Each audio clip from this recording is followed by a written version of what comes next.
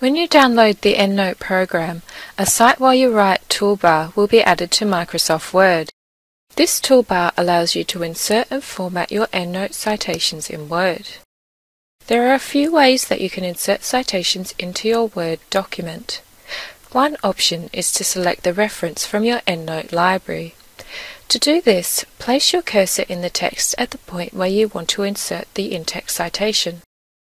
Select Go to EndNote in the Cite While You Write toolbar and it will open to your EndNote library. In EndNote, highlight the reference or references you wish to insert.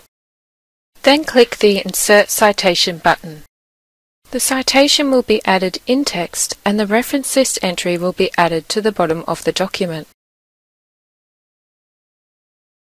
Another way to insert citations is searching for references using the Insert Citation function in the Cite While You Write toolbar. To do this, place your cursor at the point in text where you would like to include the citation. Then click Insert Citation in the toolbar. A Find and Insert My References dialog box will appear. Enter the author's name or keywords from the reference and click Find.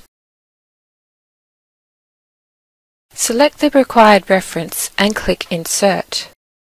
The in-text citation will now appear in your document and a reference list entry will be created.